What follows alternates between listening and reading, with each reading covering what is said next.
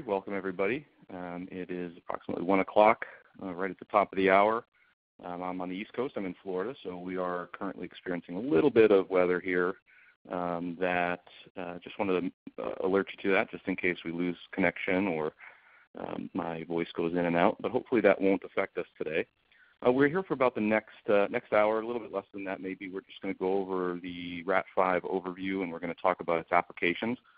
So hopefully you'll all be able to sit back and relax. And uh, please feel free to put any questions you have in the chat box. I can address those as I see them come up. So this is our agenda for today. Uh, we are going to go over background uh, of the test. We're going to talk about an overview of it, what it is, and um, what exactly we're measuring with the WRAT5.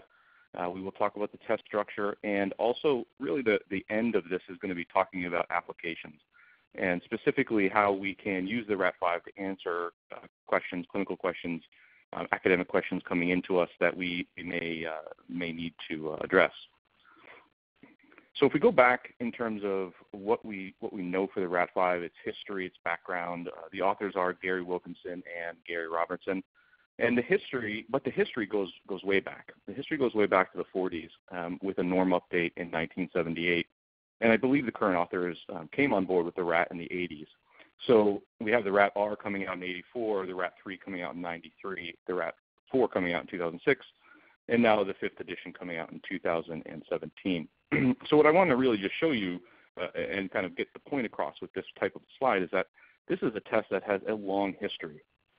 Um, it's been used quite frequently. It's used um, pretty widely in our profession and in our field. Um, and, and it goes back very far. So it's a, it's a long trusted academic achievement measure to, to think about what it is. Um, I think that's really one of the most important questions to start with. Um, why are we pulling this out of our toolkit? Um, why do we need to have it as part of our toolkit? And what, what, are we specifically going to be looking at with it? Well, it is efficient. Uh, it's, it's short, and I'm going to show you that as we go along. It's easy to administer.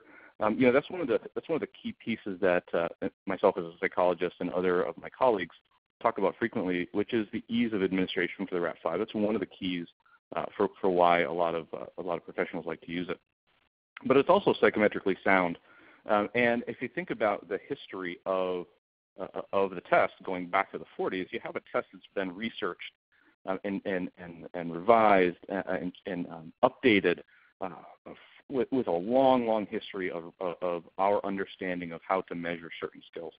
So when you have that history, um, the, the, psychometrics of it just get better over time, uh, and that's really a benefit to it. And we're really looking here at foundational academic skills. So I want to differentiate that for you from what would be considered more of a, a, a comprehensive measure. You know, comprehensive measures, I'll just name a few, like the, uh, the Wechsler uh, Achievement Test, the, the Kaufman Achievement Tests, the, the uh, Woodcock-Johnson Achievement Test. Th those types of assessments, while we're measuring um, uh, are also measuring academics. Those are more comprehensive because we're looking at skills um, from multiple data points um, rather than just a single data point. What the WRAT5 is giving us is uh, is an estimation of overall skill um, based on four data points in word reading, sentence comprehension, spelling, and math computation. If we think about what is the purpose of this tool, I think that's really sort of the most important point, right? Uh, you know, we put a lot of effort into revising tests and making sure that they meet the standard rigor of our professions, but really pulling it out is, is what I always come back to as being one of the more important things to consider when you're pulling out a test. But it does support the evaluation process for estimating strengths and weaknesses.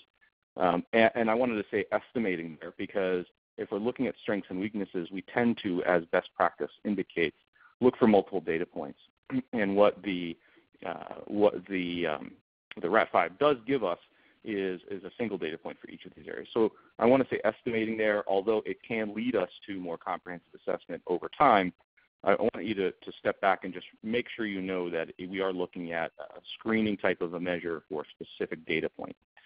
And when we look at these strengths and weaknesses, or we estimate a person's academic skills, it does indicate to us how well a person learns, um, it can be used for job readiness. And you know that, that second bullet point, job readiness, there's lots of research out there that talks about the use of these four types of academic measures to indicate whether or not somebody's ready for uh, a job or, or job placement. transition from special education services at 21 into the adult workforce, for example. So there are a lot, there's a lot of research out there that talks about using this type of data for that. And also the functional academic skills piece. And, and what, what that means, I maybe, maybe I can get into that a little bit more, provide a little more data later on, a little more information later on about that. But if we're looking at older adults, looking at uh, trying to figure out um, level of care and so forth, functional skills are really important for us to uh, for us to evaluate. It does go beyond the school setting. It's super important for us to remember that even though this is an academic